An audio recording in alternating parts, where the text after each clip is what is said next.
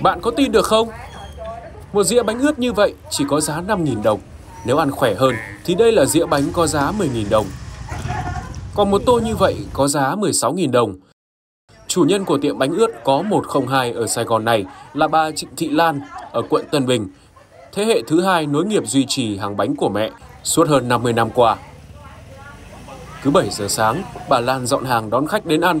Hàng chục năm nay, hai mẹ con bà Lan được cả khu chợ Nghĩa Hòa, phường 7, quận Tân Bình mệnh danh là bà chủ tiệm dễ tính nhất quả đất bởi ai ăn bao nhiêu cũng bán.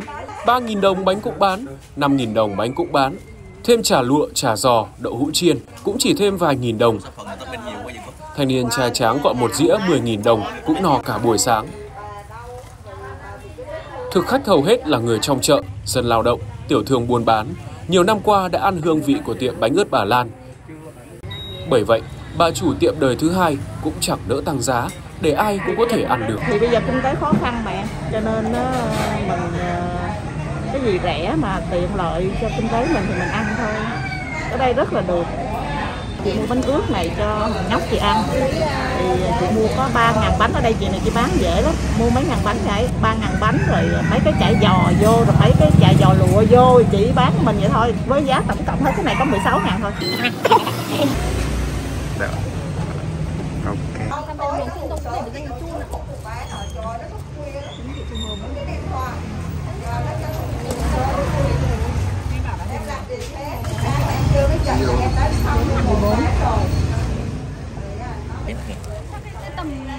này cái này à, coi như là 3 ngàn bánh với hai ơ 2 ngàn bánh với lại 3 ngàn đồ ăn cô bánh. chủ yếu bán bánh bánh thôi chứ còn mấy cái này cô lấy cô bán vốn thôi mà À, dạ.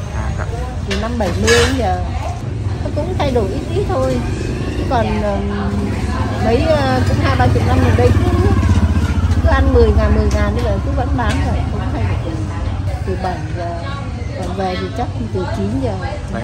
không biết mùa sau này chắc cũng phải đến 3 tiếng buổi chiều cô làm ờ, từ ờ, cô làm từ 2 giờ cho đến ờ, bốn rưỡi hồi xưa thì còn bà, còn mẹ cô thì cô, thì là cô hay giờ từ lúc 1 giờ sáng là cô làm có nóng.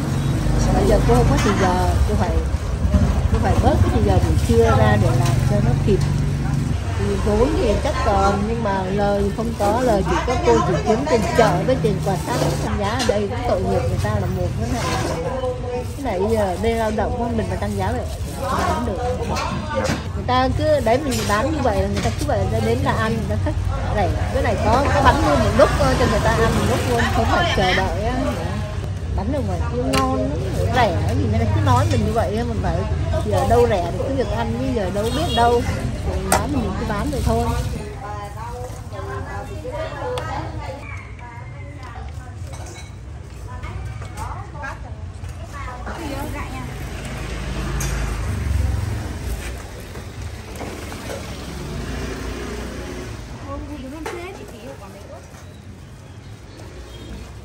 Tôi cô bán nè, cái này ờ, nhiều vậy?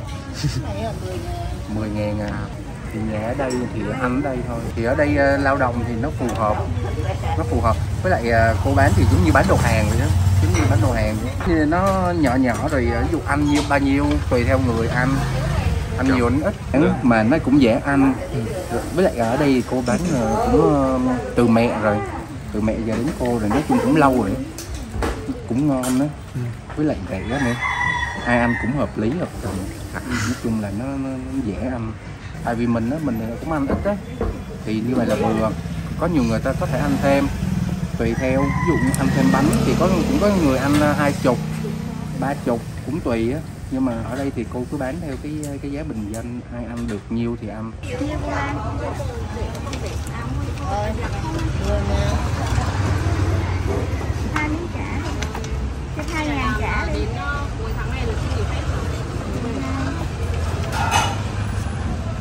làm xoay ra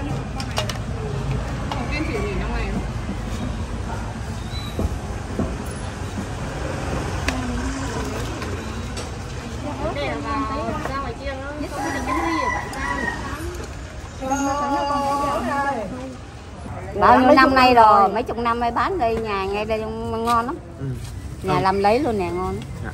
ở đó có bà già mẹ giờ mà mẹ ốm nằm trong nhà giờ cô cô bán thay mẹ. Tiền nhiều thì ăn nhiều có ít thì ăn ít. cô chỉ ăn uh, mỗi bịch đăng là bánh không thôi. Ờ, ăn nó không ngon À, cô thấy bao nhiêu năm rồi mà vẫn không tăng giá vẫn giữ nguyên cái giá đấy thì như thế nào cô? bán rẻ lắm. Còn còn bán rẻ bán rẻ nữa. Ba ngàn cũng bán năm ngàn cũng bán rẻ lắm. Giá giá có giá không? Giá. Đầy đủ cho chị á.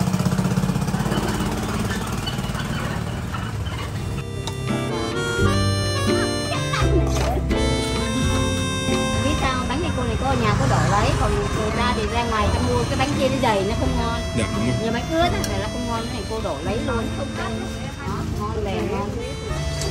Mang ra cho ăn mấy cùng ăn. Ra cái đó ออกไปคุณต้องอ้างให้ผลที่